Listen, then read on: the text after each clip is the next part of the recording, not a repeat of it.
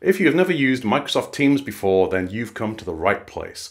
Maybe you've changed jobs and your old workplace used Zoom and you've never seen Teams in your life. If so, don't be daunted. I've got you covered in this video. Check it out.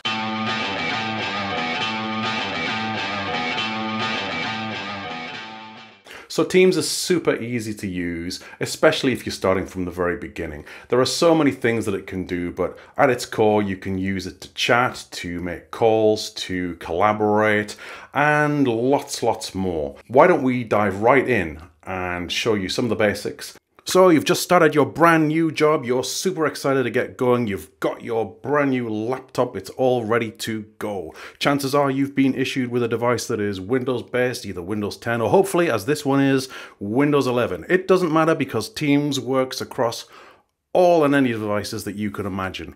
You can use it through an application on Windows, on Mac, on Linux. You can also use it through the browser that you have on your devices as well via teams.microsoft.com and it is compatible with your mobile devices on iOS and Android. But let's assume that you're getting logged onto your device, your laptop at your new place of work and you're just getting started. Where do you go? Well, you should have the Teams client for work and school on your taskbar here. Let's click to open it and you're going to be taken right into Teams.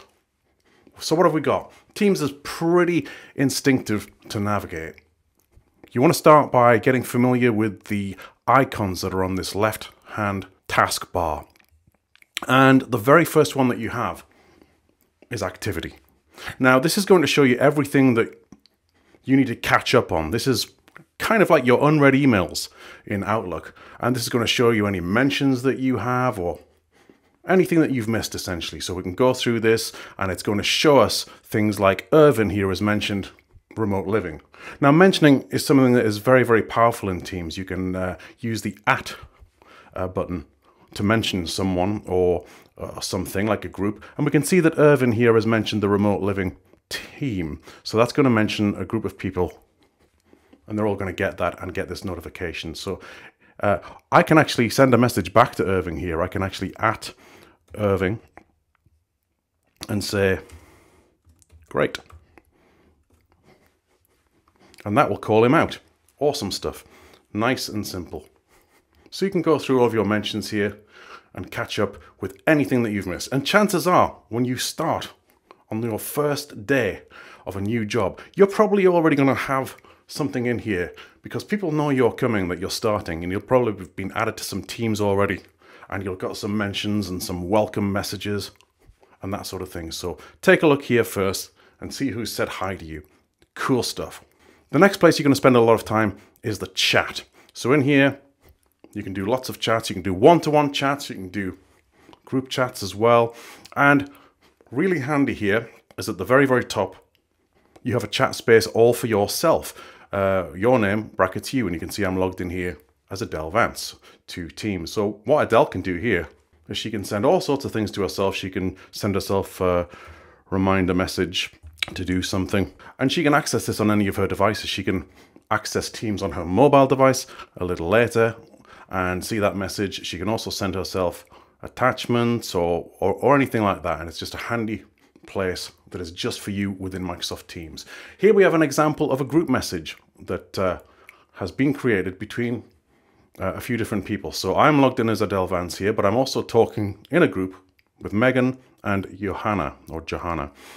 Um, and you can see here the names at the top. Now what you can do when you create a group is you can give this group a name because that's not necessarily the most descriptive. It's, if it's quite informal, leave it like that for sure, but you can edit the group name and give it something more descriptive. Easy to set up a new chat message, so you can do the, the new message button, you can find the person you want to talk to. Let's say I want to send a message to my colleague Nestor. There he is. It fills that in for you. Let's just say hi, Nestor, just to save some time. and there we go. So what we can see here is that Nestor has a yellow mark next to him, which means that he is potentially away from his device, or was last seen a number of minutes ago. Green means you're available, yellow generally means that you're away, or you're appearing away. You can appear, you could be offline as well with a little cross symbol, or uh, red means busy or do not disturb. Group chats, just as easy to do. You can uh, add in one or more people. So we can select Christy there and we can add in um, Miriam. Nice and easy to do. And we can send a nice group message.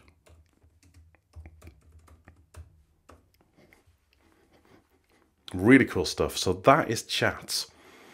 And what you can do as well as this builds up, you can pin your chat to the top. So it might be that you are going to regularly be in this chat and want that to be at the top of your screen so you can pin that chat and it appears at the very top for you. There's lots of other cool stuff you can do with chats as well. You can pop it out in a separate screen and keep it open like that.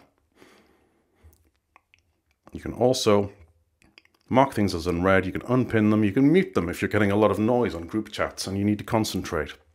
And you can put apps in the chat as well. You can leave the chat and delete the chat as well. So that's chats.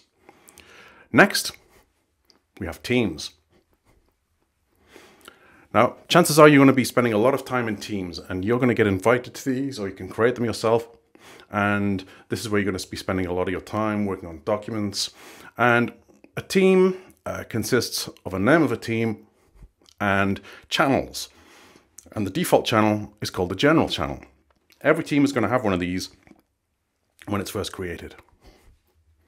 But you can also create different channels. We can see American Design Awards and PNW Coffee social campaign.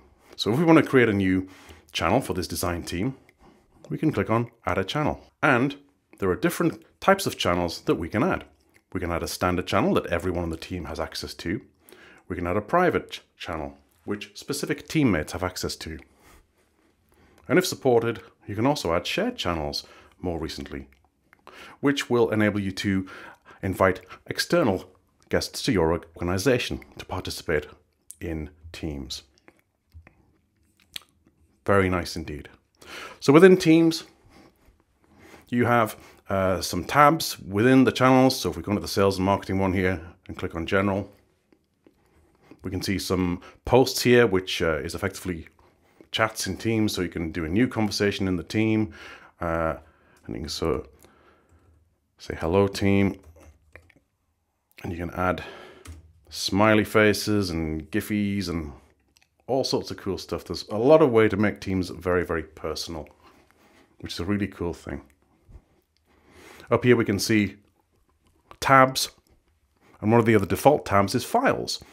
And within files, you can see any files that are there for you or folders and you can create new ones as well. So you can create a new folder or a new Word document and give it a name and you can even upload from your computer or other uh, areas. You can do different views, you can share, copy links, and you can synchronize to your local machine. Really cool stuff. We have some other tabs here, such as the product launch event tab that we can see here. And this takes us to a task planner board where we can see to-do lists and what's going on, what's on track, what's at risk, that sort of thing. And we can add more of these as well. We can add uh, new tabs and choose by app uh, what we want to be in these tabs. So that's Teams. We also get to see our calendar here. So we can uh, keep track of all our meetings and appointments. Uh, so we're bang up to date with everything we need to do in our working day. And this in most organizations is going to be exactly the same as your Outlook calendar. If you're working on Exchange Online or even in a hybrid organization, which uh, as a user you probably don't know about or care about, but chances are your team's calendar is going to match your Outlook calendar. It's very unusual for that not to be the case in most organizations now. So here you can um, double click anywhere in the calendar to add a new appointment. So you can put in the title right here add any attendees that you might want to add. So let's add in our old friend Nestor. You can schedule the time that you want. You can choose to repeat the meeting if you want. You can put the meeting in a particular channel within a team, should you choose to, but you don't have to. You can add a location and put in some notes. And click on send. Now Nestor or anyone else who's invited to that meeting is going to get an invitation to join that meeting at that particular time. And you have a nice little handy join button for when the meeting takes place. And you can click on that And before you join, you can turn on your camera, make sure all your audio is all good to go, and then join the meeting. You can also uh, join meetings in different ways. You can click the uh, uh, the join with an ID um, button at the top here if the meeting is uh, private and has a specific ID to uh, be able to join. You can click on the Meet Now button and invite your colleagues to an ad hoc meeting. Or on this new meeting button, there are lots of different options for you to schedule a meeting. You can schedule other types of uh, meetings and events as well, such as a live event, which is a broadcast one-to-all type meeting, which is good for a, um, town halls and that sort of thing. Uh, a webinar, you can do webinars or virtual appointments as well. So lots of cool stuff you can do in your team's calendar. Then we have calls. Now, calls, uh, you can make one-to-one -one calls here or with your contacts. You can uh, do a, a, quick video call or an audio call. And if your team's uh, system in your organization is connected to a telephony system, then you can also do um, unified comms dialing as well. So um, if you have that, your IT people will tell you about that, and you'll have a, a Teams phone number assigned to you potentially, which uh, means you can use Teams voice. But uh, that's where you can make calls. You can add contacts into here as well, add them in, and build up your, uh, your, your list of contacts. Then we have files. In the file section, in the home page, we can see all of the recent files that you have accessed while working within Teams. And there are lots of places in Teams where you can find files. You can find them within Teams, you can tie to your own OneDrive, which is your own personal storage area in your Office 365 account. There's lots of places you can go. But this is the recent um, files area where you can see what you've recently accessed. You can also click on My Files as well. And here it's going to show you your OneDrive and all the files that you have here. So you can see your folders, your files, you can see a recently added doc here, Adele's doc that I added just a short time ago. And you can open these up very, very easily right within Teams. It's going to open the file for you right within Teams there, and you can work on your document without actually even leaving the Teams application. If you don't like that, then you can click on the editing button here and you can open in the browser or you can open in the full desktop Microsoft Word app. Lots of wonderful options for you to work on your content. We can close out of that. Let's take a look at some more files options here. So that's your OneDrive. We've also got a shared area here. This is going to show you all of the content that has been shared with you by others. So we can see we've got some uh, video content here, some Excel docs, PowerPoints, Word docs, etc. And we can see when that was shared and who by. So this is content that has been shared explicitly with you that you can access. By the same token, you can see on the Shared By You tab what you have shared with others. You shared some of your content, potentially from your own OneDrive, as we can see here from personal OneDrive of Adele Vance, from her documents, and you can uh, go into that content right from here as well. Equally, we can see what you've downloaded. So you can download files quite easily from uh, right within Microsoft Teams, as I did with this one just a little earlier. If I quickly go back to my files, I can do the same again. I might want to uh, use the three dots or the ellipses as they're called, right click and you get lots of options here and I can download that doc to my local computer and it's going to put it in my downloads folder. If I go back to downloads now, there it is. It shows me that I've downloaded this document. And if I click on it, it's going to take me right to my local downloads folder and I've got that local copy. Then we have some quick access here. So it's going to show us some items in the quick access section, which are intelligently interpreted by teams as things that you're likely to go into more frequently. So I've got a, a team here, which is the Mark8 project team. So I can click right here and get right to that team's documents um, instead of having to go teams and then find that particular area. Contoso marketing as well. That's a another uh, file set, which is really cool stuff. And we can add more places into that quick access area as well if we want to. And finally, in the file section, we can add additional cloud storage. Now, this is only available if your organization supports it. And what you can do is you can link into Teams, and this is really cool stuff. You can link to your Dropbox, your Box, your Egnyte, and your Google Drive. So you could, if you have these um, cloud storage services and you want to link from them and access them right from within Teams, you can do so. But this has to be explicitly enabled by your IT in your company and they may have valid reasons why they're not supporting that. So you might not see that there. So that's files.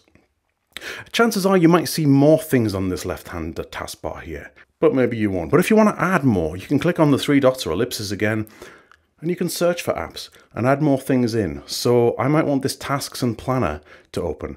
And when I click on it, it will pop it here for me and it will see all of my tasks and my to-do list. Now I think that's a really handy thing to have in Teams all of the time. So what I can do here is I can right click there and I can pin that.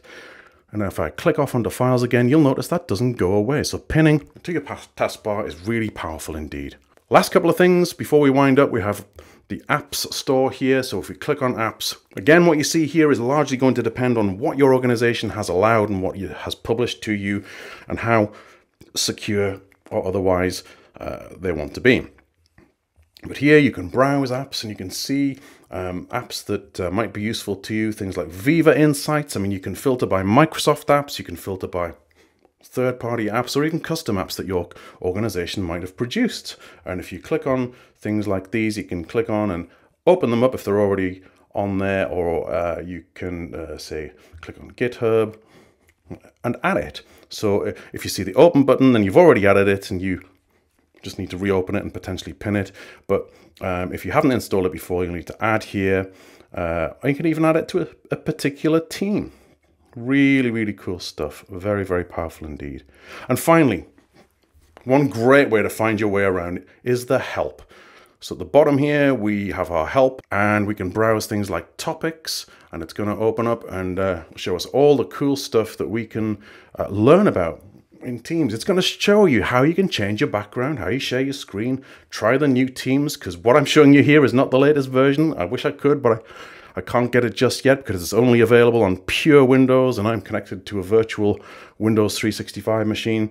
So as soon as I can show you that, I'll do so in another video. It's going to show you all sorts of great things on how to work with files and teams and channels. You can look at training as well. There's cool stuff baked right into Teams here, at your fingertips. It's going to show you how to do the basics, how to set up and customize, how to access Teams and channel. You can see what's new as well. Um, what has uh, been developed for desktop and the web. So that's this this client is desktop and web would be the web browser. You can see what's new for specific devices like iPhones and Androids. VDI means virtual desktop and Microsoft Teams devices, which is uh, something that you would see in meeting rooms. So absolutely fantastic indeed. And one final tip if you click into your search bar here, you can search for messages, files, and more.